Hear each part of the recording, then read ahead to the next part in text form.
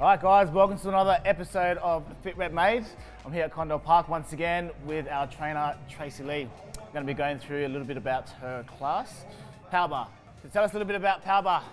Okay, well, it's a 55 minute class. It can be a beginner's class to advanced, and it does your whole body legs, chest, back track, tries, buys, does your abs, stretching. See you later. You're Bikini body, huh? Yep, that's it. Shredded. Exactly. Probably the major benefit is if you're time savvy. It's a 55 minute class. You can do your whole full body. Obviously, it's a progression. Uh, beginners uh, can do the class, and then as they get fitter, they add more weight.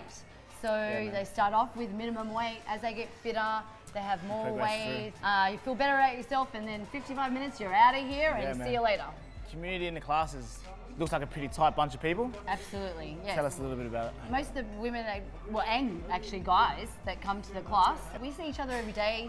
You become friends, obviously. One lady in particular I've known for a long time, and she doesn't live in the area, but she comes all the way to this gym because we offer what she wants. We have people that come to the class.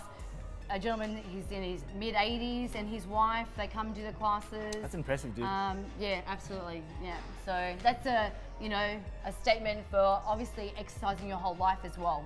You know what I mean? You have a Yeah, better quality of life, I think. so what do you love most about your job? The satisfaction with either being weight loss, even vice versa, underweight, man.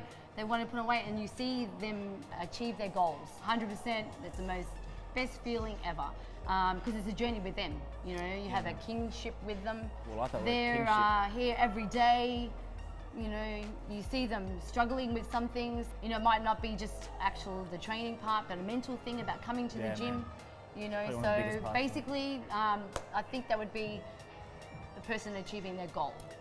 Alright guys, so that's another episode of Fit Rep Made here at Condell Park with Tracey Lee. Thanks for your time.